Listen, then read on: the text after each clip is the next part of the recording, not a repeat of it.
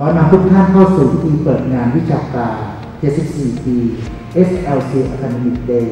ภายใต้หัวข้อ SLC เสริมสร้างศักยภาพการเรียนรู้ เร่งฟื้นฟูการเรียนรู้ที่ถดถอย Learning Loss เลยขอขอเปิดงานวันวิชาการ 74 ปี SLC Academic Day ภายใต้หัวข้อที่น่าสนใจที่ว่า SLC เสริมสร้างศักยภาพการเรียนรู้ เร่งฟื้นฟูการเรียนรู้ที่ถดถอย ประจำปีการศึกษา 2565ลำบัดนี้